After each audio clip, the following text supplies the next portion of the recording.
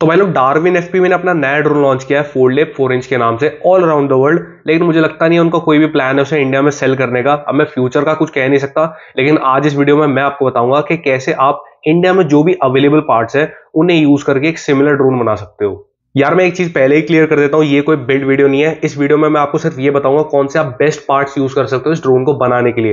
भाई मेरे पास इतना बजट नहीं है कि मैं हर महीने एक नए एफपी ड्रोन की बिल्ड वीडियो डालू तुम लोगों के लिए। बात तो सही है। तो भाई सबसे पहले हम स्टार्ट करते हैं हमारे फ्रेम से। जो फ्रेम मैं आपको रिकमेंड करूँगा आप यूज़ करो वो है एच जी की तरफ़ से सेक्टर फोर फ्रेम अब मुझे पता है जो डार्विन एफ़ का जो फ्रेम है वो फोल्डेबल आर्म्स के फ़ंक्शन के साथ आता है लेकिन ये नहीं आता। क्या करे इंडिया में कोई भी आपको फोल्डेबल आर्म्स के साथ फ्रेम नहीं मिलेगा। इसी से काम चलाना पड़ेगा। और अगर मैं इसके प्राइस की बात करूँ तो वो है तीन हज़ार तीन सौ रुपए। अब मुझे पता है तुम लोगों के कान खड़े हो गए होंगे, लेकिन भाई इससे बेटर फ्रेम आपको नहीं मिलेगा। रिलायबल है और लाइट वेट है तो हम इसी फ्रेम को यूज़ करेंगे। तो भाई दूसरा नंबर आता है मेरी मोटर्स का। मोटर्स में आपको रेकमेंड करूँगा यूज़ करना 1404 साइज़ की मोटर्स 3800 केवी से लेके 4000 केवी केवी के बीच में बेस्ट ऑप्शन रहेगा। जो मेरा पहला रिकमेंडेशन है, वो है ये आरसीन पावर की तरफ़ से मोटर्स 1404 साइज़ की। ये आपको तेरह सौ रुपए कुछ की पड़ेगी पर पीस जो कि काफ़ी महँगा है, लेकिन ये बेस्ट बेस्ट क्वालिटी मोटर्स है, इससे कुछ ऊपर नहीं है भाई। अगर आपको एक बजट में ऑप्शन चाहिए तो मैं रिकमेंड करूँगा यूज़ करना। डायटोन की तरफ़ से टोका मोटर्स वो चार हज़ार के कुछ की होंगी और आपको थाउज़ेंड रुपीज़ पर पीस की पड़ेंगी। डिस्क्रिप्शन में मैं उसका लिंक डाल दूँगा। तो भाई तीसरा नंबर आता है हमारा फ़्लाइट कंट्रोलर का। काफ़ी देर तक वेबसाइट्स पे सर्च मारने के बाद जो मुझे बेस्ट ऑप्शन लगा वो था जेपारसी की तरफ़ से टैकर जी फोर अगर मैं इसके फीचर्स की बात करूँ तो एक all in one flight controller है। यानी हमारे जो फ़्लाइट कंट्रोलर और ई e है, वो एक ही बोर्ड में बिल्ट इन है और उसमें आपको पैंतीस एम्स के ई e मिलते हैं। यानी कितनी देर तक अपने ड्रोन को उड़ाओ, कोई दिक्कत नहीं होने वाली ओवर की। और इसमें आपको करंट सेंसर भी मिलता है ओएसडी चिप भी मिलती है और अगर इसके प्राइस की बात करो तो ये आपको पाँच हज़ार सात सौ रुपए का पड़ेगा, जो कि दूसरे इसके कंपटीशन से मुझे बेटर लगा। आप लोग सोच रहे हो हम एक स्टैक भी तो यूज़ कर सकते हैं। फॉर एग्ज़ाम्पल ये, यानी ए का हमारा फोर इन वन स्टैक और हमारा फ़्लाइट कंट्रोलर अलग से ट्वेंटी बाई ट्वेंटी का स्टैक है ये। लेकिन यार, ये आई थिंक आपको थोड़ा महँगा पड़ेगा। स्पीड भी अगर मैं बात करूँ, उनका जो मिनी स्टैक आता है, वो साढ़े छः हज़ार रुपये का पड़ेगा। तो मैं आपको जेपारसी का ये all in one flight controller he recommend करूँगा। तो भाई लोग, चौथा नंबर जो आता है वो हमारा कैमरा और वीटीएक्स क्योंकि हम एक लॉन्ग रेंज एफ़ ड्रोन बना रहे हैं तो इन दोनों चीज़ों पे भाई थोड़ा तो खर्चा करना पड़ेगा ना। अगर मैं कैमरा की बात करूँ तो मैं आपको रिकमेंड करूँगा फॉक्सीर की तरफ़ से प्रेडिटर फाइव अब ये माइक्रो और नैनो साइज़ दोनों में आता है।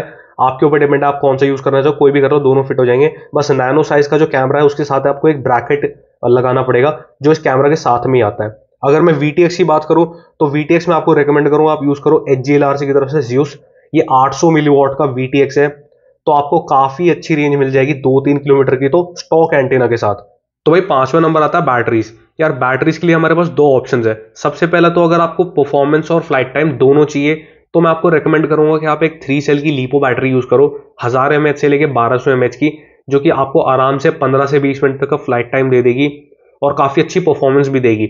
लेकिन अगर आपको सिर्फ़ फ़्लाइट टाइम चाहिए तो मैं आपको रिकमेंड करूँगा कि आप एक थ्री सेल की लिथियम आयन बैटरी यूज़ करो, जिसे बनाने के लिए आपको मॉली सेल के P twenty eight A cells use करने पड़ेंगे, ये अट्ठाईस सौ के लिथियम आयन सेल्स हैं, जो कि आपको आराम से आधे घंटे से भी ऊपर तक का फ़्लाइट टाइम दे देंगे। अगर आपको सिर्फ़ फ़्लाइट टाइम चाहिए तो आप ये वाली बैटरी यूज़ कर सकते हो लिथियम आयन की, लेकिन अगर आपको परफॉर्मेंस और फ़्लाइट टाइम दोनों चाहिए तो आप लीपो बैटरी यूज़ कर सकते हो। तो भाई लास्ट नंबर पे हमारे तीन पार्ट्स रह जाते हैं, बस हमारा जो रिसीवर है एंटेना है और प्रोपेलर्स यार रिसीवर के लिए तो मैं आपको आँख बंद करके रिकमेंड करूँगा कि आप एक ई एल आर एस का रिसीवर ले लो, आपको बहुत ही अच्छी रेंज मिल जाएगी। लेकिन शर्त यह है कि आपके पास एक ई एल आर एस का ट्रांसमीटर भी होना चाहिए। अगर मैं बात करूँ हमारे एंटेना की, देखो ये कोई नेसेसरी नहीं है। आपके पास जो स्टॉक एंटेना आता है वीटीएक्स का, आप वो भी यूज़ कर सकते हो। लेकिन अगर आपको और अच्छी रेंज और बेटर वीडियो क्वालिटी चाहिए तो आप यूज़ कर सकते हो।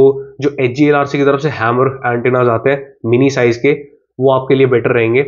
और अगर आप, मैं प्रोपेलर्स की बात करूँ तो मैं आपको रेकमेंड करूँगा आप यूज़ कर सकते हो। 4019 के जेमफैन के प्रोपेलर्स ये फोल्ड हो जाते हैं फ्लॉपी प्रॉपी के नाम से आते हैं। नाम थोड़ा अजीब है, जानता हूँ। लेकिन इनकी वजह से आप अपने ड्रोन को कहीं पे भी आसानी से कैरी कर सकते हो। तो भाई लोग यही थे वो सारे पार्ट्स जिन्हें यूज़ करके आप डार्विन एफ़ जैसा अच्छा एक ड्रोन बना सकते हो जिसमें आपको इतने सारे फीचर्स मिलते हैं ढाई ग्राम की आप लिमिट में रह सकते हो कहीं पे भी आप अपने ड्रोन को उड़ा सकते हो पंद्रह से बीस मिनट तक का फ़्लाइट टाइम अच्छी परफॉर्मेंस कहीं पे भी आप आराम से कैरी कर सकते हो फोल्ड लेवल प्रॉप्स होने की वजह से। तो यार ये जो वीडियो थी ना ये मेरा खुद का आइडिया नहीं था। आ, मेरे एक सब्सक्राइबर ने मुझसे ईमेल करके मुझसे पूछा था कि प्लीज़ यार मेरे को बताओ सारे पार्ट्स जो मैं यूज़ कर सकता हूँ ऐसे ड्रोन को बनाने के लिए। तो उन्हीं के लिए मैंने वीडियो बनाई थी। अगर आप लोगों के दिमाग में भी कोई भी क्वेश्चन हो, आप भी कोई बिल्ड प्लान जानना चाहते हो तो आप मुझे ईमेल कर सकते हो या फिर कमेंट सेक्शन में भी लिख सकते हो। And thank you very much for watching this video